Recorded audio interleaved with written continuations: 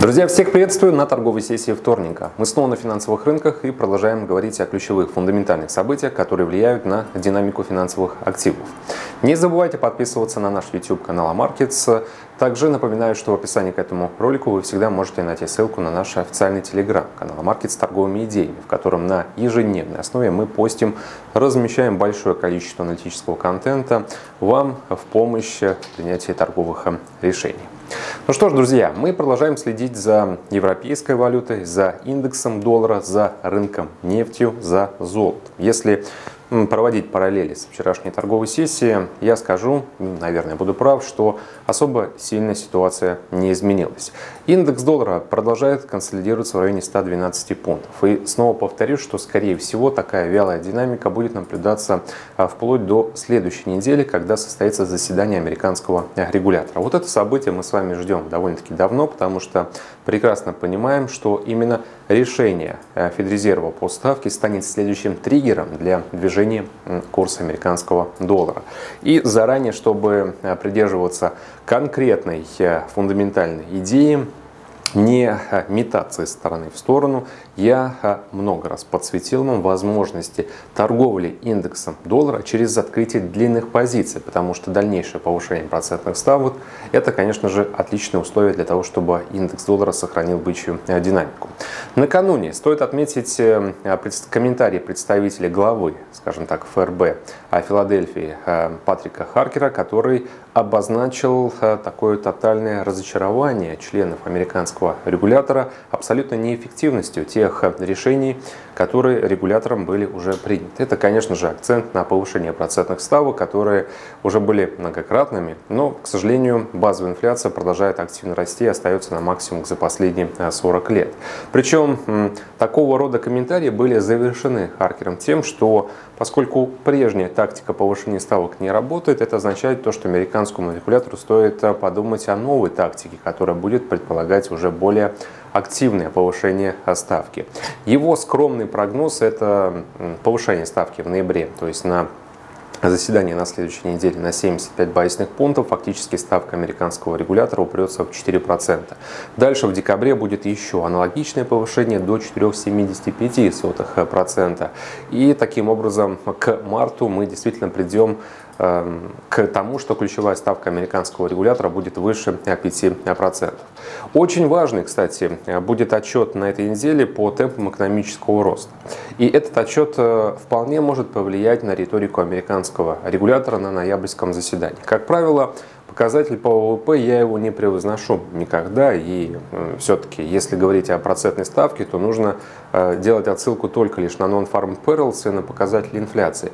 Но сейчас э, немного другие условия. Друзья, сейчас на ФРС оказывается серьезное давление со стороны общественности, со стороны тех, кто всех и всегда критикует о том, что ужесточение монетарной политики может э, ускорить процесс сползания американской экономики э, в рецессию. И поэтому предстоящий отчет по ВВП, пусть он и будет за третий квартал, э, его сильные данные могут придать больше уверенности американскому регулятору в дальнейшей, более агрессивной борьбе с инфляцией, потому что в случае более-менее стабильных показателей по экономическому росту ФРС всегда сможет сделать отсылку на них и сказать, что дальнейшее повышение ставки уместно, потому что рецессия в американской экономике еще не наступила. А судя еще и по последнему отчету по Non-Farm Payrolls, которому, в принципе, тоже придираться не нужно, я полагаю, что американскому регулятору нужно э, пойти на какое-то прям сверхагрессивное повышение ставки, чтобы действительно перед американской экономикой замаячила вот эта угроза, либо риск рецессии. И, кстати, сам американский регулятор уже неоднократно подчеркивал, что несмотря на вот эту критику, несмотря на желание всех э, спрогнозировать какой-то коллапс американской экономики. Такие риски лично американский регулятор э, видит э, как незначительные. И здесь тоже как бы есть небольшое лирическое отступление. А Фрес уже ошибался неоднократно, но вот самая последняя ошибка была по сути, в начале этого года, когда ФРС транслировал идею о том, что э, высокая инфляция – это временное явление, а потом вынужден был отказаться от этих слов, потому что прекрасно понимал, начал понимать, что это уже не временное явление.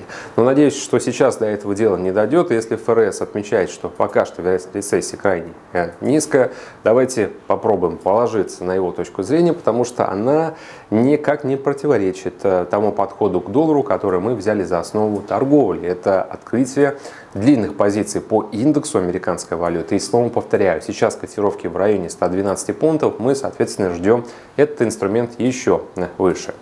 Э, десятилетние облигации, я всегда привожу их в качестве довода поддержки для доллара. Их доходность сейчас на отметке 4,20%. Это максимум почти за 15 лет, э, друзья. И э, доходность как раз американских облигаций, десятилетних трежерис, доказывает то, что американский регулятор будет и дальше повышать процентные ставки. Поэтому пока не прошло ноябрьское заседание, пока мы не получили каких-то серьезных убедительных э, сигналов от самого американского регулятора, что нужно замедлить темпы повышения ставки, я предлагаю выбросить эту точку зрения идею из головы и просто сейчас стоять по ветру, в данном случае ожидать э, предсказуемого повышения ставки как минимум на 75 базисных пунктов и соответствующей отдачи для американского доллара. Золото пока что у нас краткосрочная спекулятивная сделка покупка именно до заседания Федрезерва. Там уже посмотрим, как будем действовать. Я думаю, что 1670, как я и говорил, и потенциально выше, мы в ближайшие дни по золоту легко можем увидеть. Европейская валюта 0,9883. Несмотря на рост, тучи над европейской экономикой сгущаются, высокая инфляция, ухудшение перспектив экономического роста. Э, вчерашний блок данных по PMI еврозоны и ключевых стран ЕС и отчетов э, по сфере услуг. Ну, я думаю, что по еврозоне, стоит сказать. Производственный сектор просел с 48,4 до 46,6. Это новый исторический минимум, друзья. Сфера услуг тоже просела с 48,8 до 48,2. Соответственно, тоже рекордный э, показатель. Сегодня, а, кстати, выйдут данные 8.00 по GMT э, по бизнес-оптимизму ИФО. После таких данных, разумеется, статистика будет э, крайне плохой. И это еще один аргумент, еще один сигнал, чтобы сложилось э, э, общее представление о том, что европейская экономика конечно же, движется к рецессии, которая наступит уже в конце этого года.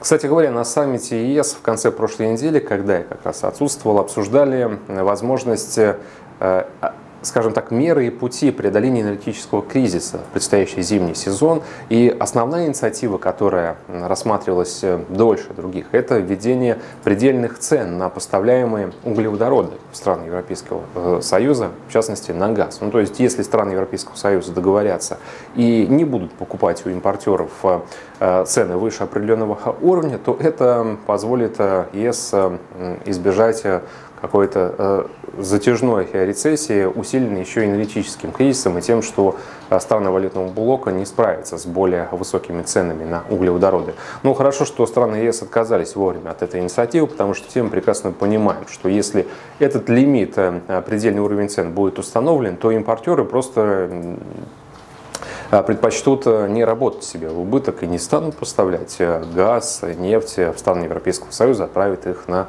другие э, рынки. И такая вообще мера может привести к тому, что ЕС вовсе останется без энергетического сырья. Но ее отклонили, поэтому в целом продолжаем работать с тем, что было раньше. А раньше у нас, собственно, было то, что энергетический кризис приближается и выхода из него пока что нету. Поэтому ждем снижения европейской валюты к прежним целям в районе 0,97-0,96. Нефть растет 89 долларов за баррель минимум вчерашнего дня, сейчас уже 91,50. Мы как раз с этих уровней нефти покупали, ждем, соответственно, развития дальнейшей восходящей динамики. И доллар-иена постепенно Э, ждем дальнейшего снижения. Э, пытались вчера доллар иен вернуть в районе 150 йен за доллар, но хорошо, что сейчас удержали в районе 149. Банк Японии в интервенциях не признается и решил э, выбрать сейчас для себя следующую тактику, тактику что будет скрыто проводить эти интервенции и не подтверждать факт расходования Э, резервов. Но мы по движению видим, есть интервенция или нет. Я думаю, что вмешательство продолжится дальше, поэтому ждем пару долларов иена в районе 145-140 йен за доллар. На этом, собственно, все. Большое спасибо за внимание и хорошей торговой сессии. Всем пока.